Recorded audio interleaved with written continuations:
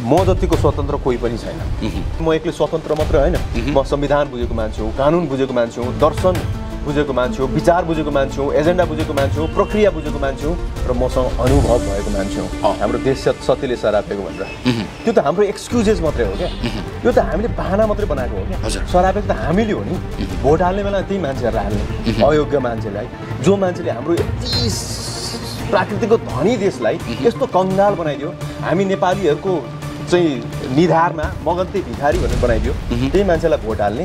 अनि ए देश त केही पनि हुँदैन सतीले सरापेको भनेर भन्ने। मतदाताहरूलाई एकदमै ठुलो इच्छा छ स्वतन्त्रले जितोस् भन्ने ठुलो इच्छा छ क्या। तर त्यो स्वतन्त्रले हार्देला। स्वतन्त्र स्वतन्त्र लडेर हारिदेला भन्ने सबैजना डरमा छ म अहिले पनि आह्वान गर्छु। सबैजना आउनुहोस् खुला दिमागले आउनुहोस्। म आफै भोलिपल्ट जित्नुपर्छ अथवा लड्नुपर्छ भन्ने छैन। म अहिले पनि कसम खाएर भन्छु। यदि सबैजना मिडियाकर्मी विज्ञ साथीहरू अथवा जति पनि स्टेक होल्डरहरू छ श्री उहाँलाई सपोर्ट गर्दै तभन्दा योग्य व्यक्ति त्यो हो। त छोडिदियो भने नि म छोडिदिन्छु अहिले पनि कसम खाएर भनिदिन्छु। तपाईँ छोड्नु तयार हुनुहुन्छ? एकदमै तयार पाँच नम्बर क्षेत्रमा जब राजनीतिमा प्रवेश गर्नुभयो एक किसिमको तरङ्ग ल्यायो। वर्षौँ वर्षौँदेखि राजनीति गर्दै आएकाहरू श्री गुरुङसँग डराउन थाले। इतिहास बनाएका राजनैतिक दलका क्यान्डिडेटहरू श्री गुरुङसँग डराउन थाले। के लिएर आउनुभयो तपाईँले त्यस्तो चिज जसले ती मयौँ भन्ने नेताहरूलाई थुरथुर बनाइदियो। पछिल्लो समयमा मैले सबै समाजवाद साम्यवाद पुँजीवाद सबै दर्शनहरू अध्ययन गरेँ विचारहरू विभिन्न विचारहरू अध्ययन गरेँ। मलाई सबैभन्दा प्रभावित पारेको चाइनिज प्रिमियर देङ सियापिङ हो। ए देङ सियापिङको सिद्धान्तबाट तपाईँ बढी प्रभावित एकदमै प्रभावित छु। जुन बेला चाइनामा माओवादी माओवादबाट जुन किसिमको एउटा चाहिँ सिचुएसन खडा भएको थियो। त्यस पछाडि इकोनोमिक रिफर्म भनेर उहाँले जुन किसिमको पोलिसीहरू लिएर आउनुभयो र चाइनालाई ओपन मार्केट बनाएर चाइनालाई अहिलेको second largest economy in the world बनाउनु पनि उहाँ हो मोडर्न आर्किटेक्ट अफ चाइना उहाँलाई जान्छ सबै श्रेय श्रेय। त्यसकारण हामीले बुझ्नु जरुरी छ कि देङ सियापिङ भनेको को हो? भनेर हामीले गुगल गर्ने बेला भएको छ। यति तपाईँले भन्ने बित्तिकै श्री गुरुङ त कम्युनिस्ट विचारधाराको मानिस रहेछ भनेर भन्लान् नि। तपाईँ विचारधारा कुन बोक्नुहुन्छ? प्रजातान्त्रिक अथवा कम्युनिस्ट हो लोकतान्त्रिक विचारधारा भनेको कस्तो हो भन्दाखेरि कुनै वाद होइन त्यो भनेको। लोकतन्त्रमा सबै चिज मेल्ट हुन्छ। हो। है? त्यसकारण के बुझ्नुभयो भन्दाखेरि देङ सियापिङ भनेको नि कम्युनिस्ट पार्टीकै मान्छे हो। ऊ त कम्युनिस्ट पार्टीकै प्रिमियर हो। हो। तर उसलाई सबैले क्यापिटलिस्ट भन्छ। भन्नाको मतलब कस्तो तरिकाले चल्नुपर्छ? हाम्रो इकोनोमिक मोडल कसरी चल्नुपर्छ? इकोनोमी भनेको जहिले क्यापिटलिजम हुनुपर्छ। तर कम्युनिटीलाई सर्भ गर्ने सबै समाजवाद हुनुपर्छ। र ओनरसिप भनेको जहिले पनि साम्यवाद हुनुपर्छ। यो तिनवटै मोडलको आफ्नै महत्त्व छ। त्यसको आधारमा भनेको विचार नै मात्रै साँच्चै नै चाहिँ देशलाई निकास दिन्छ। त्यसकारण हाम्रो बाबुआमा भनेको के हो हाम्रो देश हो। हाम्रो सरकार भनेको त्यसको एउटा रिप्रेजेन्टेटिभ मात्रै हो। हाम्रो देशलाई धनी बनाउनु पऱ्यो नि पहिला सुरुमा। देशलाई धनी बनाइसकेपछि हाम्रो शिक्षा पनि फ्री पाइन्छ स्वास्थ्य पनि स्तरीय पाइन्छ होइन? हाम्रो देश पनि सबै चिज राम्रो हुन्छ क्या। त्यस पछाडि समृद्धि विकास भन्ने चिज त त्यसै आइहाल्छ क्या। तपाईँले जुन एउटा पोस्टर बनाउनु भएको छ तपाईँको प्रचार सामग्री त्यहाँ श्री पाँच काठमाडौँ डट कम वेबसाइट अ, को एउटा एड्रेस तपाईँले डोमिन पब्लिसिटी गर्नुभएको छ। यो सुन्नेहरूले भन्छन् श्री पाँच राख्या रहेछ यो त कतै दरबारबाट चलेको हो कि? भनेर पनि तपाईँमाथि प्रश्न गर्दा रहेछन्। यो कन्सेप्ट चाहिँ के हो यो? नमस्कार स्वागत छ यहाँलाई। धन्यवाद। काठमाडौँ क्षेत्र नम्बर पाँचको स्वतन्त्र उम्मेदवार श्री गुरुङ। हजुर। तपाईँको एउटा मात्रै चुनावी एजेन्डा आत्मनिर्भर नेपाल। हजुर हजुर। बनाउनुहुन्छ नेपाललाई आत्मनिर्भर? अफकोर्स यति प्राकृतिक स्रोत साधनले सम्पन्न देशलाई पनि आत्मनिर्भर बनाउन सकिएन भने त हामी जस्तो नालायक को हुने होला हामीलाई त यो प्रकृतिले यति धेरै चिज दिएको छ यति धनी देश छ त्यसलाई पनि हामीले आत्मनिर्भर पनि बनाउन नसक्ने भने के लक्ष्य लिएर अगाडि बढ्छौँ? तपाईँको यो भनाइ सुन्दै गर्दा मलाई याद आउँछ कि आठ दस वर्ष पहिलाको एउटा साझा सवाल भन्ने कार्यक्रममा प्रधानमन्त्रीलाई प्रश्न गरेका थिए सागर ढकालले उनले भनेका थिए यस्तो प्राकृतिक रूपमा हराभरा भएको देश तपाईँको हातमा दिँदा तपाईँले ढुङ्गा बनाइदिनु भयो उनले सिङ्गापुरको उदाहरण दिएका थिए। लिक्वान युलाई ढुङ्गा दिँदा उनले सिङ्गापुर बनाइदिए। तपाईँले यस्तो देश दिँदा ढुङ्गा बनाइदिनु भयो भनेर भन्नुभएको थियो कि उहाँले? हजुर। प्राकृतिक स्रोत साधनको सही सदुपयोग गर्नको लागि तपाईँको रोड म्याप के होला भन्नुहोस्? मैले चारवटा पिलर राखेको छु आत्मनिर्भर नेपालको लागि। पहिलो सुरुमा चाहिँ पर्यटन हो सबैभन्दा महत्त्वपूर्ण चिज। त्यसपछि प्रविधि आउँछ। मैले अहिलेको लागि पर्यटनमा मात्रै फोकस गरौँ भनेर छु किनभने सबैभन्दा बढी डलर ल्याउने त्यही हो। सबैभन्दा बढी रोजगारी सृजना गर्ने त्यही हो। इकोनोमी देशको जरा जरामा रोजगारी सिर्जना गर्छ। जसले एउटा ट्याक्सी ड्राइभरदेखिको लिएर एउटा कृषकदेखिको लिएर एउटा सफाइ कर्मीदेखिको लिएर एउटा चाहिँ एउटा खुकुरी बनाउने मान्छे सारङ्गी बनाउने मान्छेदेखिको लिएर थाक थाङ्का पेन्ट आर्टिस्टदेखि लिएर मोमो पकाउनेदेखिको लिएर आइला बनाउनेसम्म सबैजना रोजगारी सिर्जना गर्ने एउटा क्षेत्र भएकोले यो चाहिँ एउटा उद्योग भएकोले। हामीले हाम्रो जस्तो देशलाई यदि टुरिज्ममा प्रमोसन गर्नु त ठुलो कुरै छैन। यो चिजलाई ठुलो लगानी पनि चाहिँदैन। सिर्फ हामीले एउटा नीति बनाउनु पर्यो जसले गर्दाखेरि चाहिँ प्राइभेट सेक्टर र इन्टरनेसनल इन्भेस्टर्सहरू अथवा इन्टरनेसनल नेटवर्कहरूले चाहिँ यहाँ आएर चाहिँ व्यवसाय गर्न सञ्चालन गर्नको लागि चाहिँ राम्रो तरिकाले एउटा चाहिँ हामीले भन्छौँ सेफ्टी सेक्युरिटी र सर्भिस भनेका छौँ। तिनवटा चिजको आधारमा हामीले नीति बनाउँछौँ। त्यो चिज मात्रै गर्न सक्यो भने जो पनि आउँछ नेपालमा किनभने यहाँनिर त सम्भावनै सम्भावना देखाएको छ कि सबैजनाले कि? हामीले पो नीति नियमै नबनाइदिएर उनीहरू आउँदै आएका छैनन् कि अहिलेसम्म। मैले तपाईँको हिजोको एउटा अन्तर्वार्ता हेर्दै गर्दा एउटा इन्ट्रेक्सनमा सहभागी हुँदै गर्दा स्वतन्त्रहरूको पनि स्वतन्त्र उम्मेदवार चाहिँ मैले पाँच नम्बरमा पाएँ त्यो पनि श्री गुरुङ भन्ने फिल गरेँ। किनभने स्वतन्त्र उम्मेदवारहरूले राजनीति बुझेकै छैनन्। देश विकासको सूचक के हो भन्ने कुरा बुझेकै छैनन् तर तपाईँले भित्री रूपमा अनुसन्धान गरेर देश यहाँबाट बन्छ भनेर तपाईँले स्लोगन बनाउनु भएको रहेछ।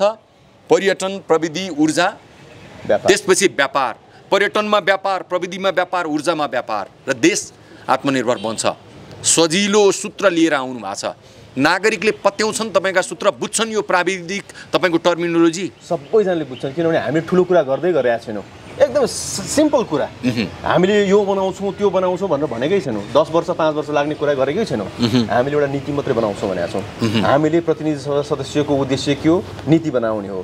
प्रस्ताव लिएर जाने हो। त्यो प्रस्तावमा होमवर्क गरेर प्रस्ताव लिएर जान्छौँ भनेका छौँ। हामीले त्यो प्रस्ताव पास गर्छौँ भनेका छौँ हामीले। त्योभन्दा ठुलो कुरा गरेकै छैनौँ हामीले। हामीले त कस्तो खालको नीति बनाउँछौँ भन्दाखेरि गर्ने मान्छेहरूलाई सहजता दिने नीति बनाउँदैछौँ भनेका छौँ चाहियो कि त्यही हो? त्यति मात्रै हो। यदि यहाँ ठुल्ठुला कुरा गर्ने सबैजनाले चाहिँ पहिला सुरुमा चाहिँ दलका मान्छेहरूले पनि ठुल्ठुला कुरा गरे घर कहिले गर्न सकेनन्। अब हामी नै ठुलो कुरा गरेर त झन् गर्न सक्दै सक्दैनौँ हामीले झन्।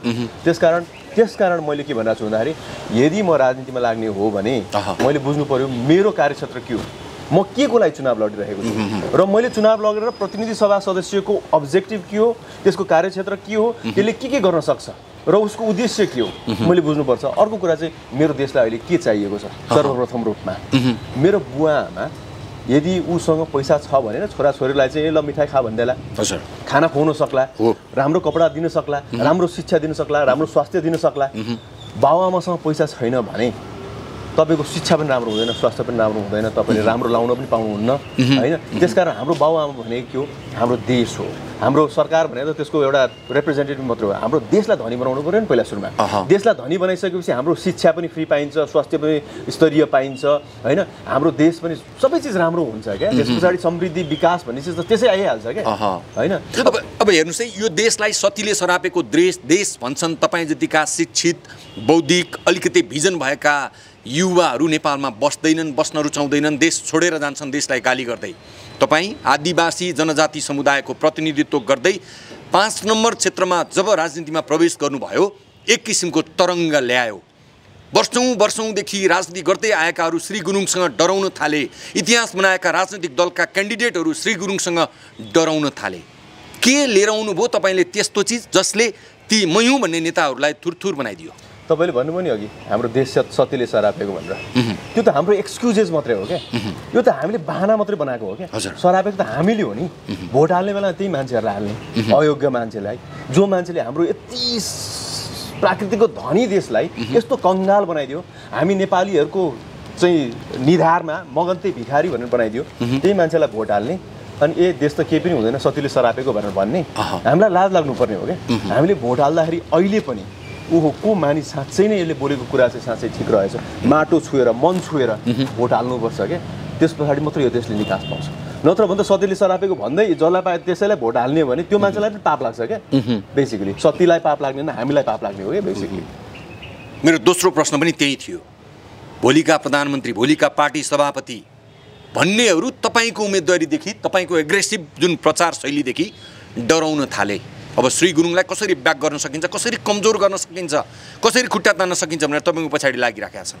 किन लाग्दैछन् त्यस्ता नेता मै हुँ भन्नेहरू तपाईँका पछाडि? मलाई कुनै डर पनि छैन केही पनि छैन। मेरो बुझाइअनुसार म उहाँलाई पनि रेस्पेक्ट गर्छु र उहाँलाई भन्छु तपाईँहरू मेरो उमेरमा तपाईँहरूको जुन ऊर्जा थियो जुन देशप्रति एउटा भावना थियो त्यही भावना बोकेर आएको छु त्यही ऊर्जा बोकेर आएको छु। तपाईँहरूको प्रतिबिम्ब हुँ म। तपाईँहरूले अब बुझ्ने बेला आएको छ कि तपाईँहरूको तपाईँहरूको प्रतिबिम्बलाई तपाईँहरूले रेस्पेक्ट गर्नु भएन भने तपाईँहरूको हविगत के हुनेवाला छ? तपाईँहरूले दुर् देश दुर्घटना गयो भने तपाईँको हविगत के हुनेछ तपाईँहरूले बुझ्नु जरुरी छ। हाम्रो छिमेकी श्रीलङ्काको बारेमा हामीले अस्ति खिल्ली उडायौँ। हामीले त्यहाँनिर भएको राजनीतिक घटा घटनाक्रम देख्यौँ। हाम्रो देशमा त्यो चिज भयो भने तपाईँहरूको हालत के हुनेवाला छ? तपाईँहरू आफै विचार गर्नुहोस्। त्यस कारण अब हामी सबैजना मिलेर देश बनाउनु जरुरी छ। हामी आफू बन्ने भन्ने कुरा केही पनि होइन। अघि हामीले पनि भन्यौँ हाम्रो बाउआमालाई समृद्ध बनाउनुपर्छ आत्मनिर्भर बनाउनुपर्छ हामीले सबै चिज पाउँछौँ। स्वास्थ्य शिक्षा बाटो नाट घाटा सबै एभ्रिथिङ पाउँछौँ क्या? बाटो घाटादेखिको लिएर खानेपानीदेखिको लिएर बत्ती बिजुली सबै चिज पाउँछौँ। तर हाम्रो आमा बुवा हाम्रो देशलाई एटलिस्ट आत्मनिर्भर बनाउन पहिला सुन्दा खोक्रो बनाएको छौँ हाम्रो आमा बाबुलाई अनि त्यही आमा बाबुलाई जतिखेर पनि मागेको मागे गर्ने मात्रै मानसिकता लिएर गयौँ भने कसरी हुन्छ? त्यसकारण आत्मनिर्भर नेपाल भन्ने अभियानका साथ हामी अगाडि बढ- बढेका भनेपछि तपाईँको एजेन्डाले अन्य राजनीतिक दलका उम्मेदवारलाई आतङ्कित बनायो। यही हो तपाईँको बुझाइ। मेरो बुझाइअनुसार उहाँहरूलाई एकचोटि अब ध्यानकर्षण गराउन सुरु गरेको छ जस्तो लाग्छ मलाई। र उहाँहरूले पनि बुझ्नु जरुरी छ किनभने अहिलेसम्म तपाईँले संसदमा के भयो छलफल अहिलेसम्म? देशको आत्मनिर्भरताको बारेमा कहिले केही कुरा भयो। देशलाई के चिजले चाहिँ साँच्चै आत्मनिर्भरता बनाउँछ? के चिजले चाहिँ समृद्ध बनाउँछ भन्ने विषयमा कसैले कुरा गरे? विकासको नाममा हामीलाई खोक्रो बनाए विकासको नाममा हामीलाई मगन्ते भिखारी बनाए। यो चिज त छर्लङ्ग छ नि। तर उहाँहरूले कहिले देशलाई म यो दिन्छु देशलाई यसरी चाहिँ म समृद्ध बनाउँछु यसरी चाहिँ पैसा कमाइदिन्छु देशलाई भन्ने कुरा कहिले पनि गरेनन्। जहिले पनि हाम्रो तपाईँले बजेटदेखि नै रा- राख्नु भएको छ नि। चालु खर्च र पुँजीगत खर्च तपाईँले हेर्नुहोस् त त्यो सबै चिजमा हामीले तिरेको करले सिर्फ कर्मचारीको स्यालेरी तिर्नु मात्रै पुग्छ। बाँकी पैसा सबै लोन लिएर ग्रान्टमा लिएर मगन्ते भिखारी जस्तो तरिकाले हामीले चलाइरहेको छौँ हाम्रो देश। अनि त्यो अवस्थामा यदि हामी अब पनि सजग नहुने हो भने हामीले नबोल्ने हो भने हाम्रो नेताहरू त जुन तरिकाले अगाडि बढिरहेका छन् यसरी नै बढ्न दिने हो तपाईँ जुन विचारधारा लिएर अगाडि बढ्नु भएको छ यो विचारधारा सुन्दा मन नपराउने कोही हुँदैनन्। यो विचारधाराको गुरु को हो कोबाट पाउनुभयो यस्तो राजनैतिक शिक्षा तपाईँले? म आफै पनि एउटा चाहिँ अब पत्रकारितामा पिएचडी गरिरहेको मान्छे भएर मैले विभिन्न दर्शनहरू अध्ययन गर्ने मौका पाएँ। र पछिल्लो समयमा मैले सबै समाजवाद साम्यवाद पुँजीवाद सबै दर्शनहरू अध्ययन गरेँ विचारहरू विभिन्न विचारहरू अध्ययन गरेँ। मलाई सबैभन्दा प्रभावित पारेको चाइनिज प्रिमियर देङ सियापिङ हो। ए देङ सियापिङको सिद्धान्तबाट तपाईँ बढी प्रभावित एकदमै प्रभावित छु। जुन बेला चाइनामा माओवादी माओवादबाट जुन किसिमको एउटा चाहिँ सिचुएसन खडा भएको थियो। त्यस पछाडि इकोनोमिक रिफर्म भनेर उहाँले जुन किसिमको पोलिसीहरू लिएर आउनुभयो र चाइनालाई ओपन मार्केट बनाएर चाइनालाई अहिलेको second largest economy in the world बनाउनु भयो नि उहाँ हो मोडर्न आर्किटेक्ट अफ चाइना उहाँलाई जान्छ सबै श्रेय श्रेय। त्यसकारण हामीले बुझ्नु जरुरी छ कि देङ सियापिङ भनेको को भनेर हामीले गुगल गर्ने बेला भएको छ। यति तपाईँले भन्ने बित्तिकै श्री गुरुङ त कम्युनिस्ट विचारधाराको मानिस रहेछ भनेर भन्लान् नि। तपाईँ विचारधारा कुन बोक्नुहुन्छ? प्रजातान्त्रिक हो अथवा कम्युनिस्ट हो? लोकतान्त्रिक विचारधारा भनेको कस्तो हो भन्दाखेरि कुनै वाद होइन त्यो भनेको। लोकतन्त्रमा सबै चिज मेल्ट हुन्छ। हो।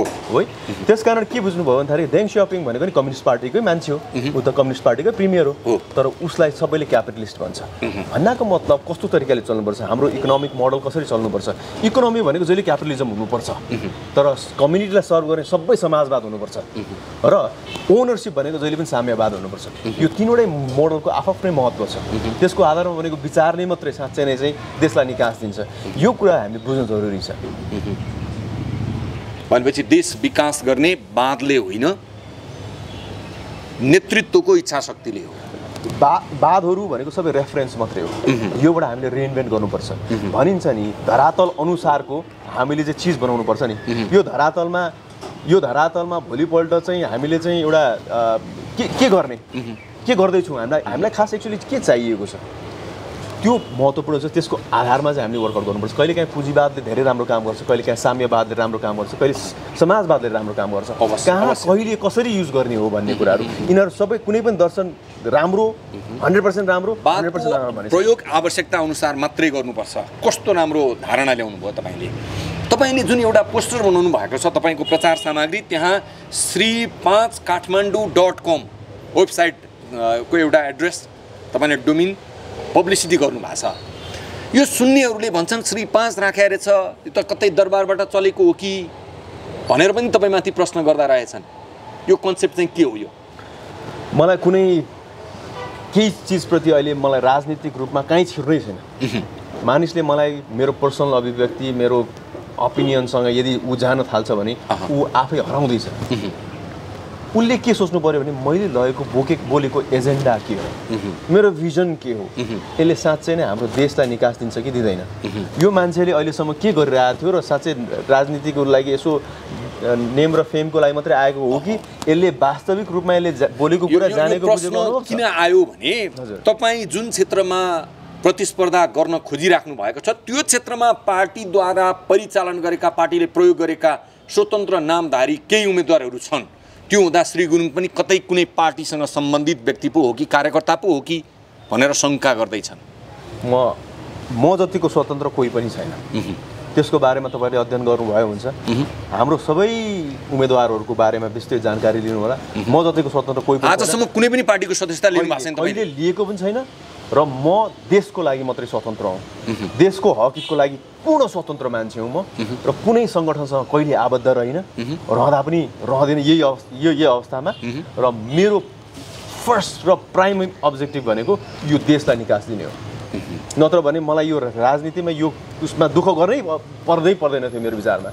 अरू कुनै पनि विषयमा सम्झौता गर्नुहुन्न तपाईँ? म गर् गर्नेवालै छैन। र मैले त यो जुन तरिकाले अहिले म खुलेर आइरहेको छु नि यो चिज भनेको च्यालेन्ज दिनको लागि आएको छु। म सबैजनाले देखाउन चाहिरहेको छु कि अबको हाम्रो अब्जेक्टिभ के हुनुपर्छ? म तपाईँलाई तपाईँलाई भन्छु म यदि संसदभित्र छिरेँ भने तपाईँले देख्न सक्नुहुनेछ कि म एक्लैले त्यो संसदमा कति ठुलो प्रभाव पार्न सक्ने रहेछु भनेर। किनभने म एक्लै स्वतन्त्र मात्रै होइन। म संविधान बुझेको मान्छे हो कानुन बुझेको मान्छे हो दर्शन बुझेको मान्छे हो विचार बुझेको मान्छे हो एजेन्डा बुझेको मान्छे हो प्रक्रिया बुझेको मान्छे हो र मसँग अनुभव भएको मान्छे हो। तपाईँ यसपटकको दुई हजार उनासी सालको आम निर्वाचनमा उम्मेदवार बन्दै गर्दा यसको तयारी चाहिँ कहिलेदेखि गर्नुभएको थियो? तयारी मलाई खास एक्चुली प्रेसरै परे हो तपाईँलाई मैले अ, अ, भन्नु पर्दाखेरि मेरो तयारी चाहिँ पहिला पनि थियो। योभन्दा आज एक डेढ वर्ष अगाडि नै मैले चाहिँ केही साथीहरूलाई स्थानीय तहमा उठाउँछु भनेर उहाँसँग मैले छलफल पनि गरेर मैले अगाडि पनि बढाइसकेको थिएँ। अलिकति प्लानिङ पनि भइसकेको थियो तर मेरो पनि पर्सनल कुराले गर्दाखेरि उहाँको पनि पर्सनल कुरा गर्दाखेरि त्यो अगाडि नबढिसकेपछि म होइन ल ठिकै छ म राजनीतिमा छिर्दिनँ। म अब व्यावसायिक तवरले नै अगाडि बढ्छु भन्ने तरिकाले अगाडि बढिरहेको थिएँ। तर पछिल्लो समयमा जति पनि न्युजहरू आउनु थाले त्यो न्युजहरू हेर्दाखेरि मलाई के फिल भयो भन्दाखेरि ओहो हाम्रो भाग्य निर्माताहरूलाई त हाम्रो बारेमा केही मतलबै रहेन रहेछ अस्ति दुई वर्ष लकडाउन भयो। हामी जस्ता व्यवसायीहरू सबै घरसाई भयौँ। कसैले कुनै पनि राज्यको कुनै तह तब्काले निकायले कहिले पनि केही पनि भन्दा पनि भन्ने एउटा शब्दले सहानुभूति पनि दिएन। त्यतिखेर फिल भयो कि हाम्रो देशमा राज्य भन्ने चिजै छैन रहेछ। अथवा भनौँ जो मान्छेले यो नेतृत्व सम्हालिरहेको रहेछ यो मानिसहरूलाई हाम्रो बारेमा कुनै पनि स- संवेदना नै रहेन रहेछ। हाम्रो प्रतिनिधि त कोही पनि छैन रहेछ। त्यो feel भयो। त्यो त्यो फिल भयो। हामीले यदि हाम्रो देशको अवस्था यति सुधार्नको लागि अथवा यसलाई चाहिँ राइट ट्र्याकमा ल्याउनको लागि अब पनि खबरदारी नगर नगर्ने हो भने हामी पनि त्यो स्टेक होल्डर हुन्छौँ है। यो बर्बादीको स्टेक होल्डर हुन्छौँ है। यो देश त अब ब्याङ्क्रप्ट हुन लागेको छ नि। तपाईँले राम्रो तरिकाले हेर्नुहोस् कि दुई तिन महिना मात्रै हाम्रो वैदेशिक रोजगारीमा गएका सम्पूर्ण नेपालीहरूले पैसा पठाउन रोकिदिने हो भने यो देश चुरुमै डुब्नेवाला छ। यो देशमा कुनै पनि पेट्रोल पाइँदैन। यो देशमा केही कुनै पनि सामान किन्न नपाउने खालको अवस्थामा पाउँछ। किनभने हाम्रो देश सबै ट्रेड ट्रेड बे बेस्ड इकोनोमी हो। हामी। म्यानुफ्याक्चरिङ केही पनि। गर्दैनौँ। भोलिपल्ट नुन चामल तेल पनि आउँदैन हाम्रो देशमा। तेल पनि आउँदैन। यो सबै हामी चलाइरहेछौँ वैदेशिक रोजगार भएका दाजुभाइ दिदीबहिनीहरूको यो देनबाट। उहाँहरूले पठाएको देनबाट हामीले चलाइरहेछौँ तर अहिले पनि त्यही त्यसैमा चलेको इकोनोमी मात्रै सधैँ परनिर्भर मात्रै भइराख्ने हो भने हामीलाई पनि पाप लाग्छ। कोभिडको पेन्डेमिकले जन्माएको उम्मेदवार भनेर चिन्ता हुन्छ तपाईँलाई? देश सङ्क्रमणमा पर्दा सङ्कटमा पर्दा त्यो देशलाई जोगाउने नेतृत्व तपाईँले देख्नु भएन आफै नेतृत्वमा जानुपर्छ भन्ने सोच्नुभयो र मैदानमा आउनुभयो। हदसम्म त्यो पनि हुन सक्ला। किनभने त्यसले हामीलाई रियालिटी चेक पनि गरायो। एउटा अक्सिजन सिलिन्डर पनि ल्याउन नसक्ने किन्न सक्नेको छोडै छोड्दै कुरा जरुरी। एउटा अक्सिजन सिलिन्डर लिनको लागि प्लेन पठाउन नसक्ने। हो सरकार बुझ्नु भने डोनेसन गरेको सामानहरू ल्याउन नसक्ने ल्याउन नसक्ने सरकार। तपाईँले देखिहाल्नु पछिल्लो समयमा अब यसको बारेमा त मैले टिका टिप्पणी गरौँभन्दा पनि हरेक चिजमा त्यतिखेर जब नेपालीहरू सास नपाएर व्याकुल थिए। त्यतिखेर मानिसहरू व्यापार गर्दै थिए। हरेक नेपालीले डोनेटेड भ्याक्सिन ल्याएको छौँ क्या हामीले। हो। बुझ्नु भने कति ठुलो विडम्बना होला। यति प्राकृतिक स्रोत साधनले सम्पन्न देश धनी देशको सम्पूर्ण नागरिकहरू डोनेटेड भ्याक्सिन लगाएर बसेको छ। यो एउटा विडम्बनाको कुरा भयो। अब म आजको यो छलफललाई लामो बनाउनेवाला छैन। तपाईँ स्वतन्त्र रूपमा मैदानमा हुँदा तपाईँसँगै हामी पनि स्वतन्त्र हौँ भनेर पाँच नम्बरमै मैदानमा कुद्नेहरू दर्जनको हाराहारीमा छन्। स्वतन्त्र मध्येबाट अब्बल स्वतन्त्र छान्नको लागि तपाईँहरूले आन्तरिक गृह कार्य गर्नुभएको छ कि छैन? यो भनिदिनुहोस् आज नागरिकहरूलाई। मैले बाह्र पन्ध्र दिन अगाडि नै मैले स्टेटस लेखिसकेका थिएँ। सबैजनालाई म आह्वान गर्छु। एकचोटि बसिदिउँ एक एकैचोटि बसी त दिउँ एकचोटि। अहँ। कुरा सुरा गरौँ। मेरो फेसबुक स्टेटस हेर्नुभयो भने तपाईँले देख्न सक्नुहुन्छ। बाह्र पन्ध्र दिन अगाडि नै लेखेको छु मैले। समन्वय सहकार्यको लागि ओपन माइन्ड लिएर आइदिनु होला भनेर। अहिले पनि म भन्छु म जहिले पनि कुरा गर्न जान्छु मतदाताहरूलाई एकदमै ठुलो इच्छा छ स्वतन्त्रले जितोस् भन्ने ठुलो इच्छा छ क्या। तर त्यो स्वतन्त्रले हार्देला स्वतन्त्र स्वतन्त्र लडेर हारिदेला भनेर सबैजना डरमा छन्। म अहिले पनि आह्वान गर्छु। सबैजना आउनुहोस् खुला दिमागले आउनुहोस्। म आफै भोलिपल्ट जित्नुपर्छ अथवा लड्नुपर्छ भन्ने छैन। म अहिले पनि कसम खाएर भन्छु। यदि सबैजना मिडियाकर्मी विज्ञ साथीहरू अथवा जति पनि स्टेक होल्डरहरू छ श्री उहाँलाई सपोर्ट गरिदिए तभन्दा योग्य व्यक्ति त्यो हो। त छोडिदियो भने म छोडिदिन्छु अहिले पनि कसम खाएर भनिदिन्छु। तपाईँ छोड्नु तयार हुनुहुन्छ? एकदमै तयार छु।